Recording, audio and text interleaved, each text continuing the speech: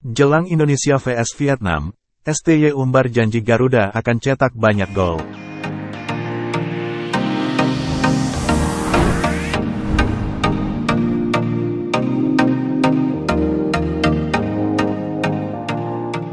Juru racik timnas Indonesia, Shin Tae-yong, mempunyai janji untuk tak kebobolan dan mengemas banyak gol saat melawan Vietnam.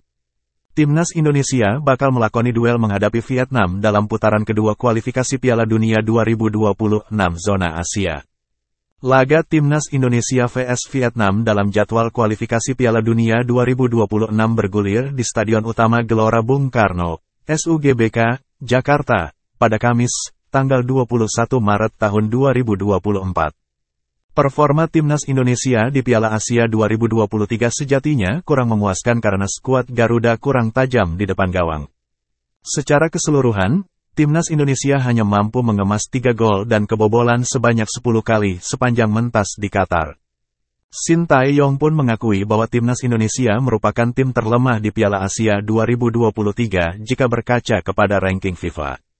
Di Piala Asia kemarin memang tim Indonesia yang paling lemah dari semua tim yang berpartisipasi, kata Shin Tae-yong dalam jumpa pers jelang laga melawan Vietnam pada Rabu, tanggal 20 Maret tahun 2024. Apalagi tim-tim di grup kami prestasinya baik. Semua tim kuat dan bagus, ungkap pelatih asal Korea Selatan itu. Jadi, timnas Indonesia lebih banyak kebobolan daripada mengemas gol, ungkap pelatih berumur 53 tahun itu. Walau demikian, STY menegaskan, timnas Indonesia mempunyai keyakinan bakal tampil berbeda saat melawan Vietnam.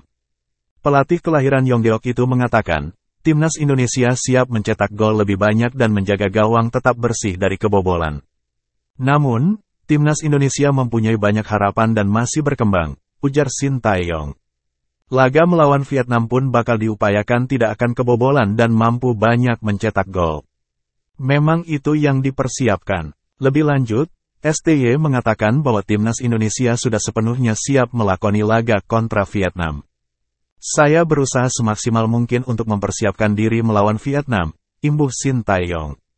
Memang ada beberapa pemain cedera yang tidak bisa bergabung ke timnas. Namun, pemain-pemain yang ada di sini sudah bekerja keras.